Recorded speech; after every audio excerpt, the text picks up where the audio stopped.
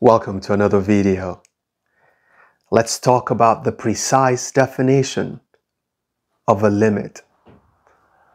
I have um, about two or three videos on this topic, but I had to take this one down because when I first made the video, I made a couple of errors and I got many comments about those errors, but I decided to leave the video up because it was helping other people understand it, those who didn't realize the errors. But at some point I took it down and I promised myself I was going to redo it. So this is the redo of the video you've seen before if you've ever watched my video on epsilon delta proof. Now, this is a very easy proof, but somehow the way it is written in the textbook or it is explained often confuses students and it is one of the most difficult topics that I've seen students talk about. They just don't understand it. But I am sure after watching this video, you will understand it. Let's get into it.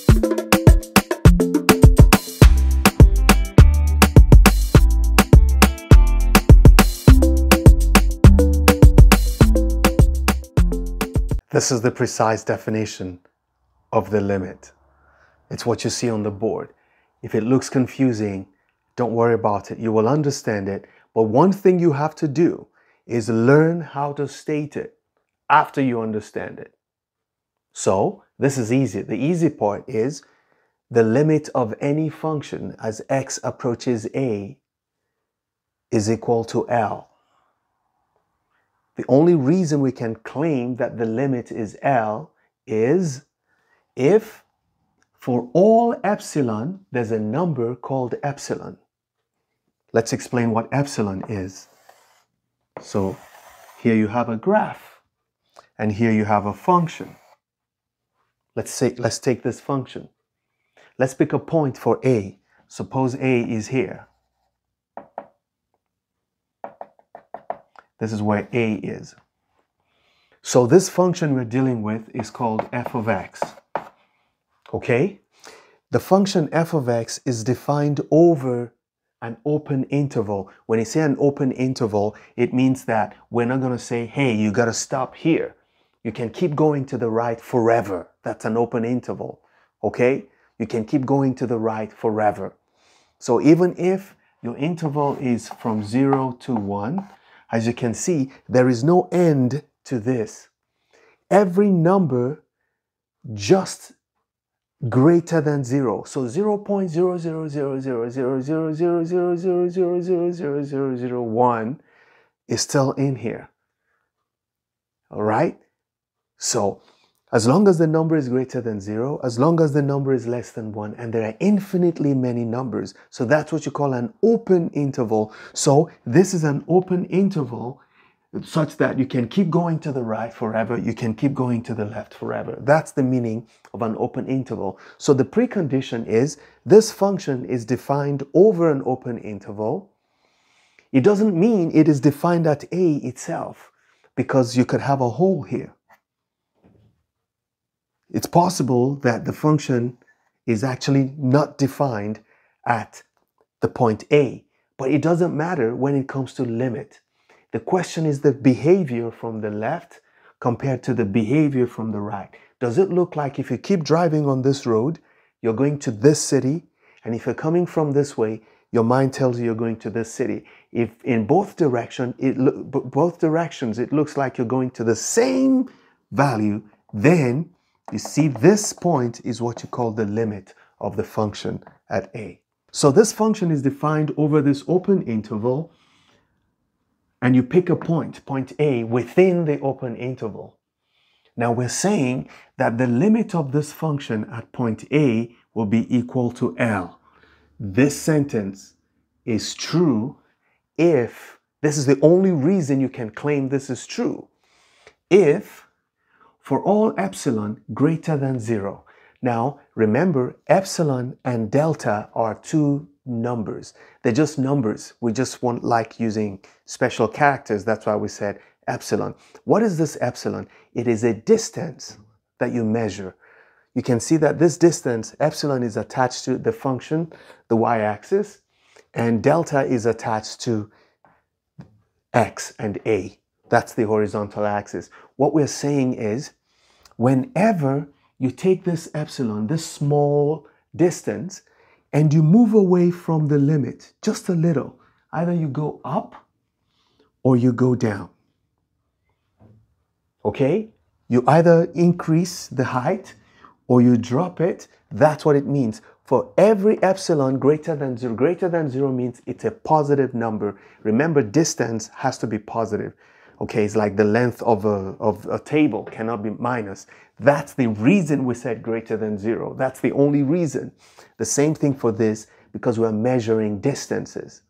Okay, so if you go up a little or you go down a little, that's what this means. So let's, let's just follow the definition. For every epsilon greater than zero, there exists a delta greater than zero. What it means is this claim of the limit is only true if when you move away from the limit by an epsilon amount, so that this is now L plus epsilon, or you go down, which is L minus epsilon, because this distance is epsilon.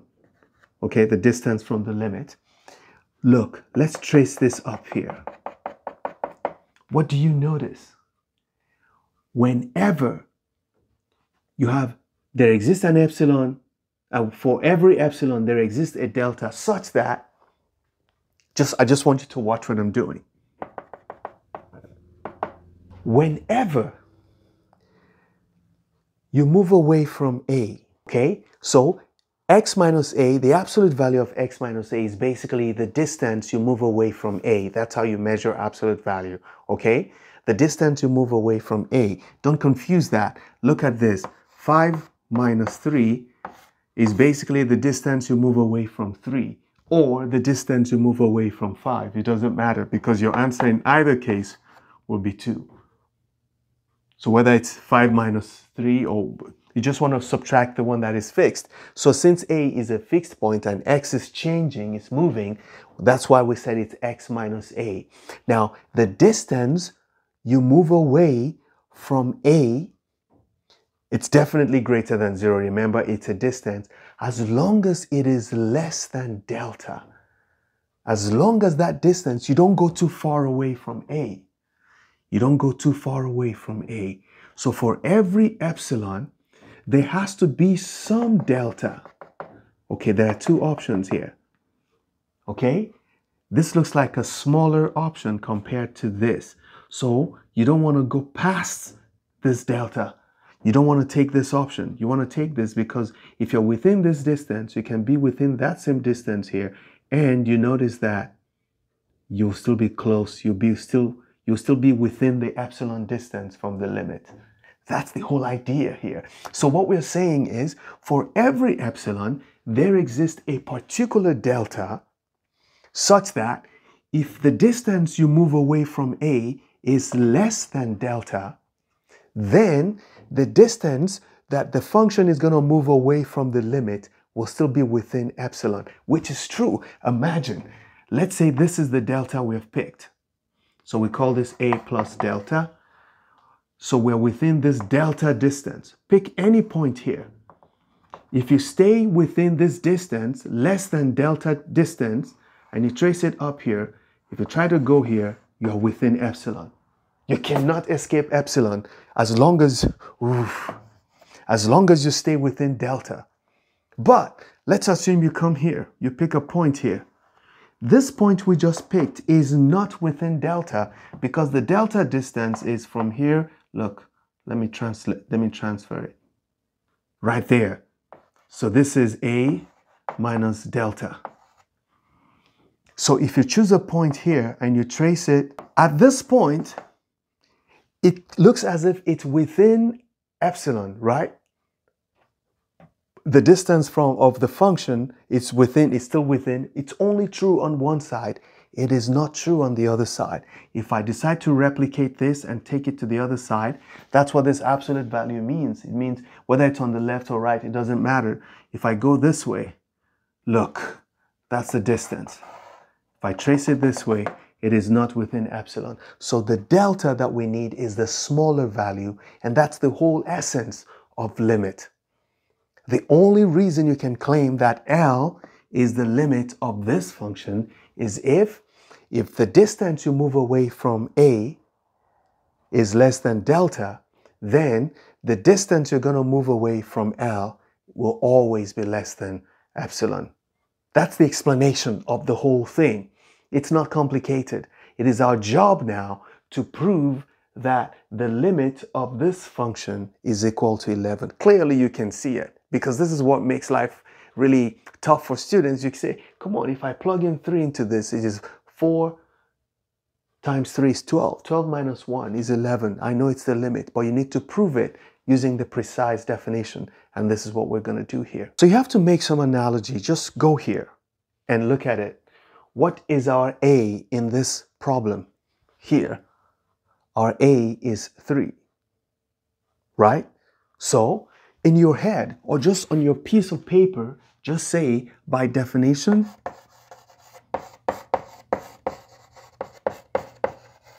by definition, the limit as x goes to 3 of 4x minus 1 is equal to 11 if for all epsilon greater than 0 there exists a delta greater than 0 such that if you see I'm just using this definition to rewrite this using the parameters that are provided such that if 0 is less than x minus 3 is less than delta, then the implication is that the function, what is the function we have? This is our function. 4x minus 1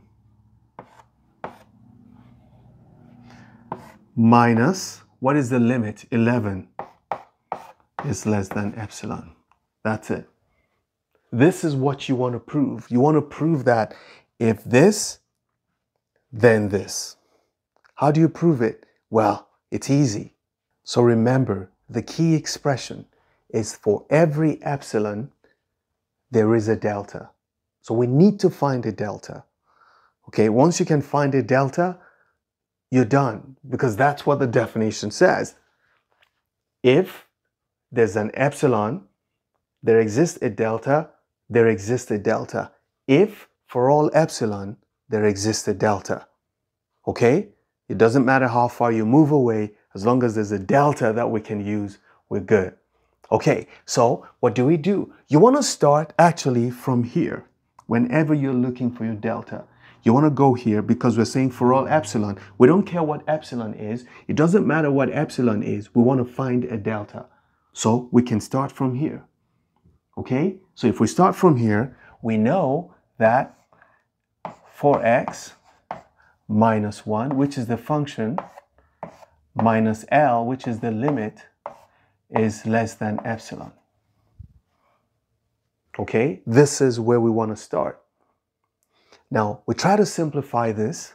We have the absolute value of 4x.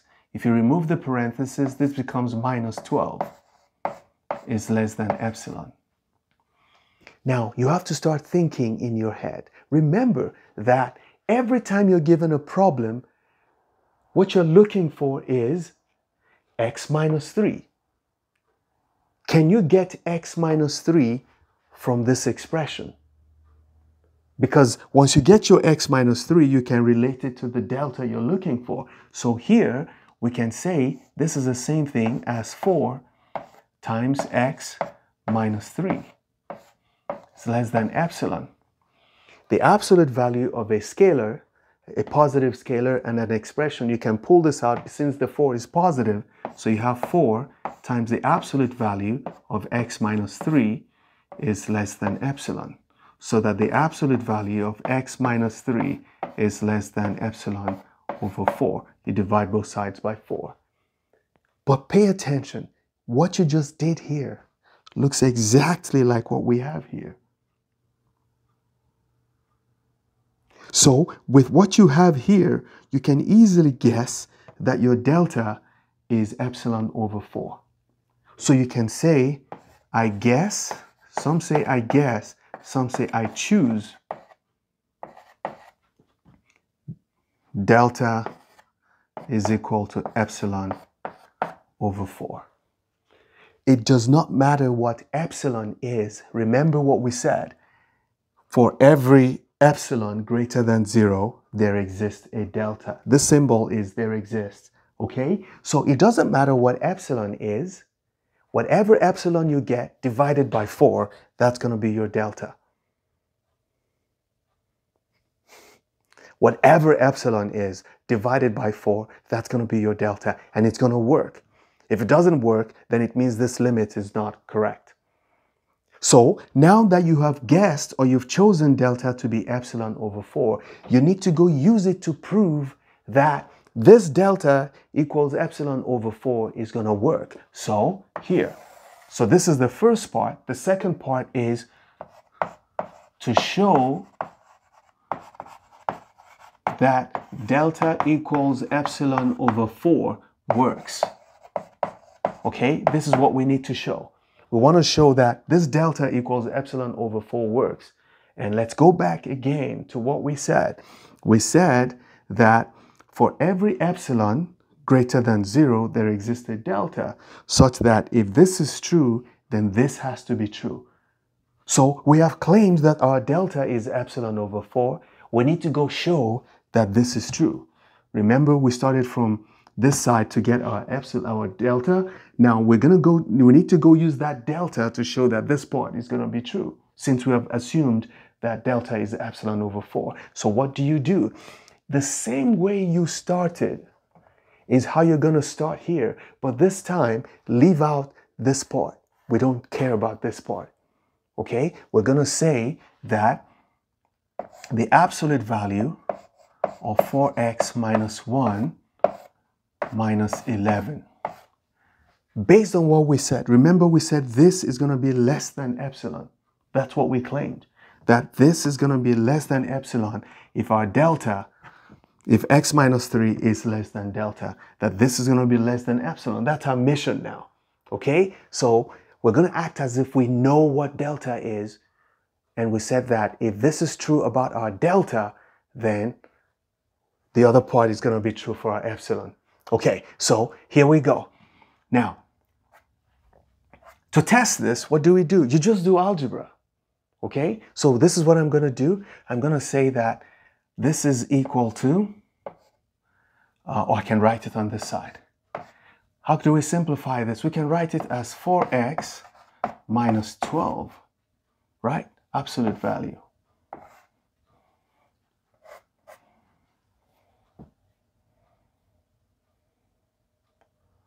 What else can we do? We can say this is the same thing as 4 multiplied by the absolute value of x minus 3. Right? That's the calculation we did here. Okay. So where does this save me? Well, remember, this is 4 times what is x minus 3 again? Remember the claim we're making that x minus 3 is less than delta. If x minus 3 is less than delta, it means this next line I'm writing has to be less than, because I'm going to change this now. Because this is less than delta, 4 times 4 times this will be less than 4 times delta. 2 is less than 3, right? So 4 times 2 has to be less than 4 times 3. That's the idea here. So whatever you have here, because this is less than delta, this is less than 4 times delta. But what did we say delta was?